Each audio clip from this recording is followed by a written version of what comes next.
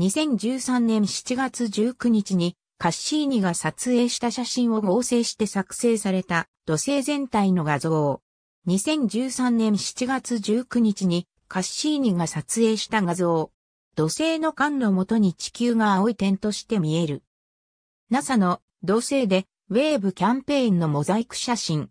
地球が微笑んだ日当日に一般の人々が撮影した約1600枚の写真がコラージュされている。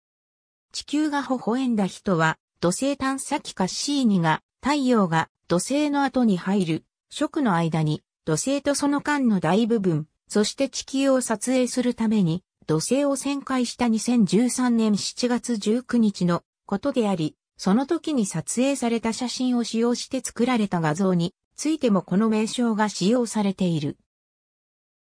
なお、カッシーニは同様の画像を2006年と2012年にも撮影している。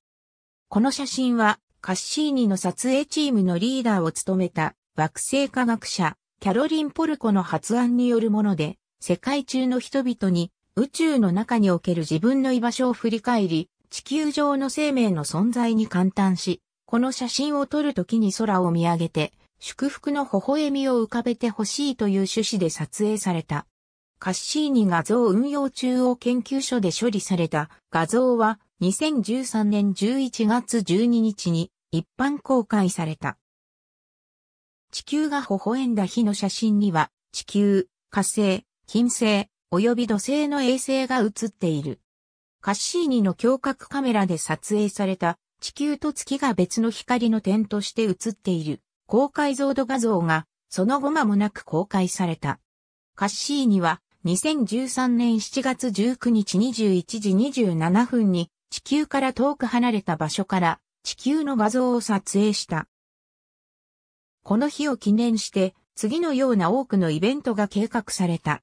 カッシーニからの生の画像はイベントの直後に地球に送られ、7月19日の撮影シーケンスの数日後に処理された画像が公開された。フルモザイクの処理はポルコの指揮の下でシクラーップスで約2ヶ月間かけて行われた。カッシーニが幅40万4880マイルのシーン全体を撮影するのに要した4時間の間に合計323枚の写真を撮影し、そのうち141枚が最終版の画像の生成に使用された。NASA によれば、土星、地球、火星、金星の4つの惑星が可視光で一度に撮影されたのは史上初めてである。また、地球の写真が宇宙から撮影されることが地球上の人々に事前に知らされていたのも、これが初めてだった。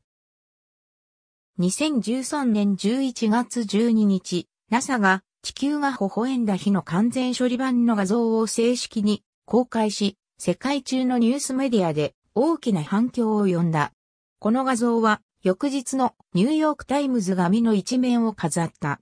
また、このモザイク写真はアメリカ議会図書館が天文学者カール・セーガンの論文を入手したことを記念して行われた式典でキャロリン・ポーコによってセーガンに捧げられた。さらに、11月12日には、NASA の土星でウェーブキャンペーンに寄せられた1600人の一般会員が投稿した画像をコラージュしたものも公開された。ありがとうございます。